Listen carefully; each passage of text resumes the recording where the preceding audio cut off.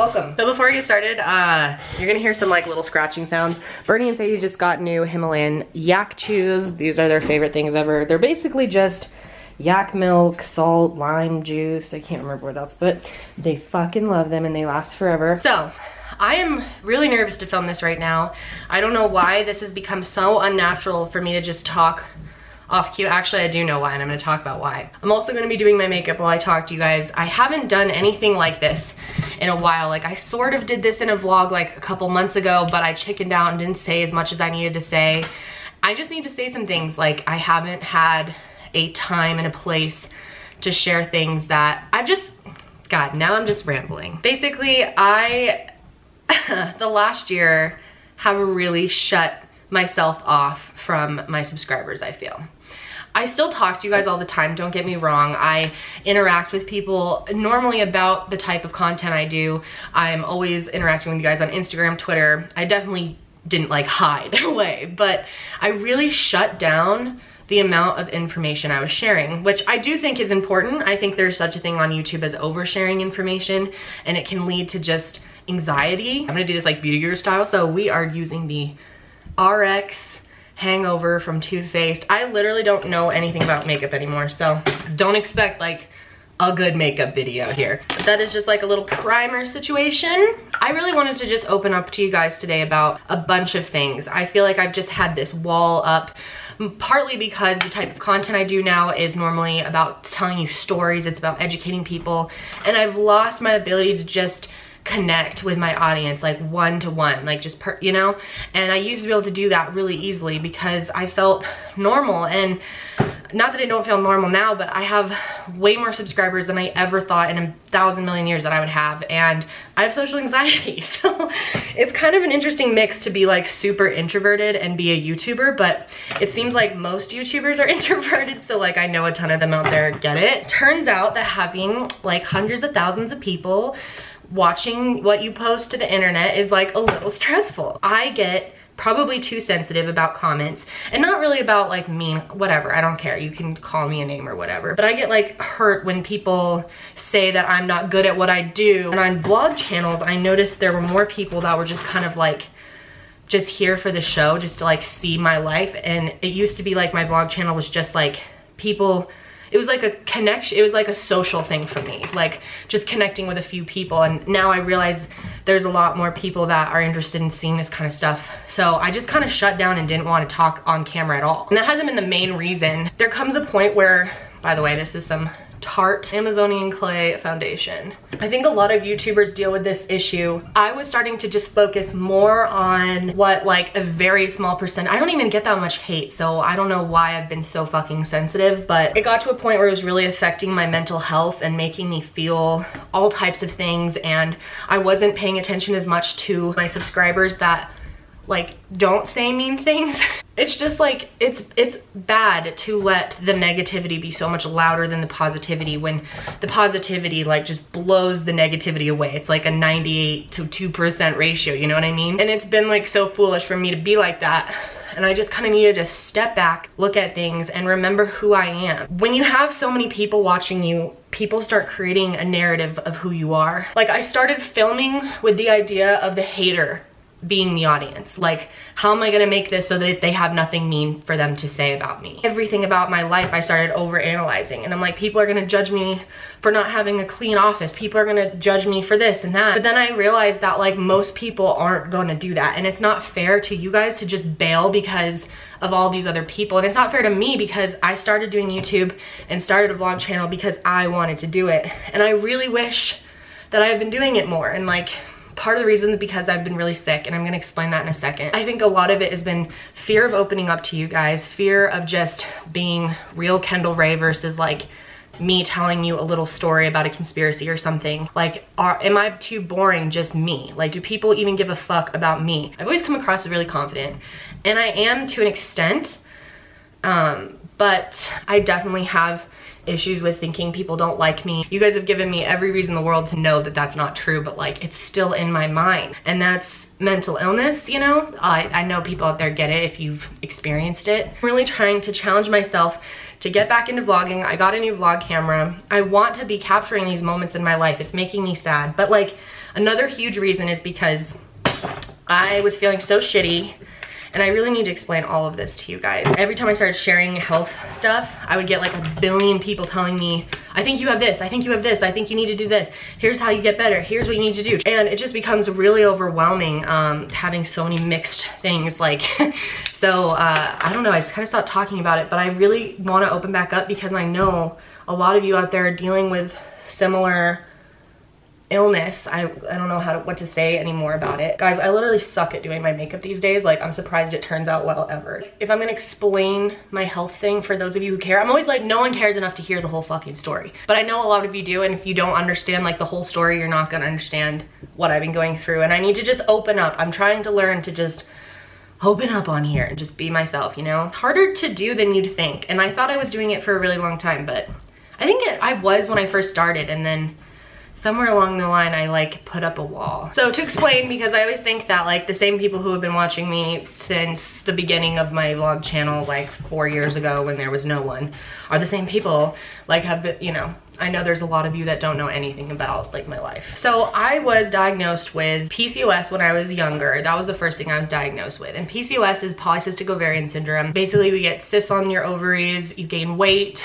Um, so that's when my I first started having problems and the weight gain was the biggest thing for me at first. It's been a challenge my whole life. I've talked about it, you know, on my channel multiple times. I've been very open about that because a lot of it's just been completely out of my control. And there's some other symptoms to that as well. Um, but then when I was 17, I was diagnosed with something called Hashimoto's, which is an autoimmune disease, which if you don't know what that means, it's basically when your body attacks itself. So there's several different types of autoimmune diseases. And the one I have is where your body is attacking your thyroid. My thyroid attacks itself all the time. So it's kind of like feeling like you have strep all the time. But like I went a really long time. I got on medication when I was like 17, 18 and went through college and definitely had, I mean, I went through a little, you know, spout of depression in college for sure. And my mom always thought I had something called Cushing syndrome. Now, I don't know if any of you out there have this or are familiar with it. It's not super well known, but my mom has it and me and my mom have all the same symptoms. So my mom has thought I've had this since I was legit 12. I've been going to an endocrinologist. I've gone to so many different specialists. It's not like this is all of a sudden just happened this year. This has been years for me. I started with a different doctor in college and I've been taking all these tests. I got a CAT scan because if you have Cushing syndrome, it's so hard to explain. There's no way I'm gonna explain this right. But my mom had a secretion tumor on her adrenal gland, which caused her to overproduce cortisol. And I'm currently overproducing cortisol and we're trying to figure out why. You can also have this in your uh, pituitary gland. So I had a scan for that but I never got the adrenal scan. And my mom's tumor wasn't found until five years ago and then she had the surgery. So since then I've realized I have all the same symptoms as my mom. So I, I went on like thinking, you know, any anytime I had shitty issues, I just blamed it on my Hashimoto's. But it was mostly controlled, you know, my thyroid levels are normal whatever. The doctors barely know shit with this stuff, I swear to God. But they said my thyroid hormones were normal, nothing to be concerned about. And I, I was fine for a while. And then I started having this like arm pain in my uh, like tendons right here about two years ago, a little over two years ago now. Um, I thought it was from editing YouTube videos, so I had no idea it was anything else, and I just tried to lay off of being on my phone. Like I basically just blamed it on like my technology. Like I'm on my shit too much. Then it started to move into my hands. It started to move into my wrist. And then this December is when it started getting really bad and I started getting exhausted. So tired, but not to the point where I'm sleeping. Like it's not that type of tired. It's like depletion. It's like feeling weak uh, it's something hormonal, like something's wrong. I'm getting enough sleep. So I kind of thought I was just having flare up of Hashimoto's, but to this day, it hasn't gotten any better. It's gotten way worse. So I have, all of a sudden I have high blood pressure, which is you know, a sign of Cushing syndrome. I have um, high red blood count, which we can't figure out what that's from. Widespread pain, but it's all in my upper body. So it moved to this arm. That's how I knew it wasn't like an injury. Like this is moving around my body and it feels like everything's like eroding, like everything creaks. Nothing ever used to be like this for me. You know, it like wasn't like this. It's really upsetting to talk about, honestly. I am in so much pain. Like this summer has been terrible. I've, I'm honestly like trying to keep myself from slipping into like a serious depression because I have been so frustrated. I'm obviously seeing doctors. I'm working with an endocrinologist, a rheumatologist, obviously a general practitioner. Um, I did a sleep apnea test this week. Um, I have a bunch of other symptoms, like all these weird things. I have had insane anxiety, like anxiety like I've never experienced it in my whole life. So that's part of the reason I haven't been filming, you know, don't feel fucking good. Plus, I don't do that much. Like my life has slowed the fuck down since I've gotten sick because I'm barely getting out of bed every day. Like there's some days where I just can't do it. Like I literally can't. I get in so much pain and the last two days have actually sucked like really bad. But I just wanted to talk on here so bad, so decided to just sit down and do it anyway. But I'm in a ton of pain even right now probably why I, you can hear me breathing. Like I get kind of out of breath when it hurts, but we're not sure that that's what it is. Like it's hard to diagnose this and they're very slow about just giving you the test. Like I'm sure you guys are like, just get the MRI. I wish I could, trust me. That's my goal by the end of the year is to get an MRI. Um, but I could also have, they also think I could have fibromyalgia. I could possibly have Ehlers-Danlos. My, they believe my sister has it, but she's never been confirmed diagnosed. My dad's gonna get a gene test and it's so complicated, like so frustrating. I barely can explain it because I barely know what's going on. Anyway, but I did this sleep apnea test this week to like try to rule that out because I don't think that's what it is. I don't think that causes like pain like this. And this week I'm getting x-rays and uh, what else am I doing? I have to, I keep having to collect my pee for 24 hours. That's really fun. I have to seriously store it in our fridge and keep it for 24 hours and that's how they test your cortisol levels. Um, which mine are like in this weird gray area where they're high, but they're not sure if it's high enough to be Cushing syndrome. But I'm like, dude, my mom has it. She had pain, the same pain as me. It like hurt her in her arms, in her shoulders, all up her body and never had lower body pain. So I have the exact same thing. She has high blood pressure. She has the anxiety. She has she has everything the same as me. So I'm bringing her to my next doctor's appointment to be like, listen, bitch, I'm just desperate to figure it out because I feel really depressed. Like, I feel like I don't want to have kids right now. I couldn't imagine caring for a kid. Like, I feel like I'm barely getting through every day. It's like so hard for me to talk about because I feel so weak. I feel like people won't understand this. That's why I almost haven't shared it because and a lot of people who have fibromyalgia or Lyme's disease or an autoimmune condition that's kind of like an invisible illness suffer from this or deal with this anxiety that people don't believe them because you can't like show them like, here's, you know, physical proof of how I'm feeling. Like you, I can't even put into words how I feel most days. And it's, it's, it makes me not want to be around anyone, which has been awful. You know, I've been like very secluded. It's honestly been like a super hard time, but I wanted to share it because I know there are people out there who have worse things. And that was part of the reason I almost didn't want to share it at first because I was like, people have so much worse things. I don't want to complain when someone has cancer or is disabled, you know? But this is like so bad for me. I feel like I'm not living my best life and editing has been so hard. I have so much anxiety about not uploading and like people getting mad at me for not uploading and it's just been, obviously it's been really hard for me. I'm, I'm trying to really just be open about it. Just feel like I don't want to, like if this is permanent, if I have fibromyalgia, that basically means they don't know what the fuck's wrong. And they put you on some medicine and there's not a cure. Like it sounds sounds like no matter what I have, there's probably not gonna be a great great cure. So I'm trying to like learn how to deal with this now and learn how to live with this. Um, but it's hard because like physical activity is so hard for me. Like yoga hurts me. I can't even put any pressure onto my like wrists at all. Trying to figure everything out with this new way of living for me and josh having to take care of me a lot of the time like god thank God for him. He's had to step up in so many ways and help and I just am so grateful to have someone who like understands and, and doesn't make me feel bad about what I have, you know, or like doesn't try to minimize it. Like he believes me, he understands me and like he'll get it if I have to leave somewhere. I have, you know, like he doesn't judge me for it because he understands it's all real. He's laid next to me crying in bed almost every night this whole summer. Like he gets how bad this has been. And I have been hesitant to be with anyone else. Like I have barely seen other friends. Um, I see my cousin a lot, but she's like my family. Uh, so yeah, I've been very uh, secluded. It's been weird. I thought getting back into vlogging would help me. I have a new vlog camera now.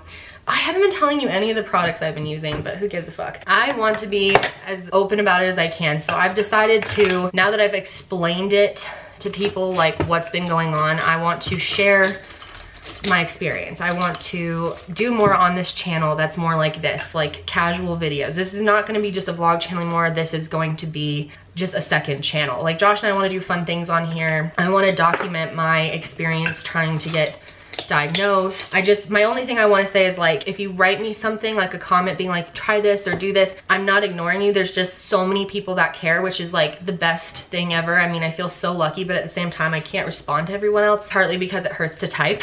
this gets a, you know, a little difficult. And so I'm just trying to listen to the doctor. But um, yeah, this is the uh, Naked Heat palette. It's been like very different doing what I do now on YouTube versus doing what I used to do um, on YouTube, which was a lot more open, a lot more unrehearsed. Like I don't have a script, I don't have notes. Uh, and it's really nice to sit down and do this. I've been afraid, you know, I've been listening too much to the negativity. I've been, I've just had so much anxiety. I feel like it's honestly, it's somewhat mental and it's a lot medical. But you know, the two go hand in hand. Like pain and discomfort go so in hand with mental health as well, you know? It's emotional to be in pain. It's depressing. You start to wonder. I started to question, is this in my head? At one point, I was literally wondering if I was going crazy. Like, I'm like, maybe this is not as bad. Maybe everyone feels like this all the time and everyone's in pain and they just hide it really well or they deal with it and I'm just like weak. so I was like at that point where I had to be like, okay, listen, this is not normal for you. You don't want to be like this. All right, I gotta fucking concentrate when I do this. I don't know how beauty gurus talk and do their makeup at the same time. I'm like, this is turning out so bad. All right, had to get a fan. It was getting really hot. Sorry if you can hear it or whatever. Honestly, I think one of the things that has made me like reevaluate everything and, and want to open back up is Shane Dawson. As crazy as that sounds, um, I've been watching, you know, his new series. I mean, who hasn't, right? It's so fucking good. And he has been so inspiring to me talking to other YouTubers and hearing them like having the same issues, like worried about like all, like what are people gonna think of me? What are they gonna judge me for this? They're gonna judge me for that. I don't know, it's just something about hearing other people worried about what other people are gonna think of them and like wanting to tell them like, don't worry about that though, like there's so many people that love you. And then thinking like, uh, I should be telling myself the same thing. So much anxiety is built up around it because I heard someone talking about this somewhere, having stage fright as a performer. Obviously, if you're like an actress or something like that, there's a lot of stage fright involved and it can cause a lot of anxiety for actors and stuff. With YouTube, it's kind of like that, but all the time. I'm just like done letting my fears and insecurities and worries about what other people are gonna think of my life um, and how boring it is. Like, I, I, that's my main thing is like, my life is boring. I don't have a Porsche. I don't have like tons of stuff going on. I don't see other YouTubers. It's just like us chilling. Like our life's really simple. My life is very simple. And I started thinking like, who gives a fuck about me and who gives a fuck about what Josh and I do. I remember one of my favorite things about vlogging was just recording normal days and being able to look back and be like, what was I doing on a Thursday in college, you know? It's like really cool. Not many people have that. So I'm gonna get back into it. Um, I'm definitely not like a daily vlogger. I will never be a daily vlogger. I couldn't stand that type of pressure, but, but I've decided to just as often as I can or whenever I feel good to vlog, you know? And even if it's boring and it's just me playing with my dogs. So interesting too, cause like I used to share so much more when I vlogged, like when my parents were getting divorced. I shared a lot of that. I shared moments crying on camera. Like now I wouldn't do that. And I was like, why did I feel comfortable doing that before and not now? Well, I mean, the clear answer is because I have more people watching and there's more opinions and more, yeah, distress. Um, yeah, it felt really good to say all that hopefully I still have to put mascara on, but I hope you guys enjoyed just like listening to this. If any of you listened, I have this idea in my head that no one's gonna care about what I said. No one's gonna wanna watch this and no one's gonna watch it all the way through because how boring to listen to my health problems. I don't know. We're gonna do it. We're gonna upload and I hope that this is the start of more personal connection with you guys because I just I really miss that I really really do and it's like been noticeably lacking from my life feeling connected to you guys. Because when you start to feel disconnected from your audience um which i feel connected with you guys in a lot of ways because of the podcast i think that's like i just know that not everyone watches the podcast but i'm connecting to you more than just telling you stories and teaching you which i love to do but i don't want that to be all i do you know? So i'm just figuring it out. My whole youtube career has just been figuring it out. Like i never thought i would be i'm almost at a million subscribers Like, I can't believe it. I seriously cannot believe it. Um, it's almost like I don't even know that that's happening. I don't know. Um, I do have a lot of interesting projects behind the scene that are going on. There's a lot of exciting things going on. We're building a podcast studio right now in our house. I wanted to document that. So um, hopefully this is the start of more vlogs. Um, I hope you guys enjoyed listening and I'll see you in my next vlog.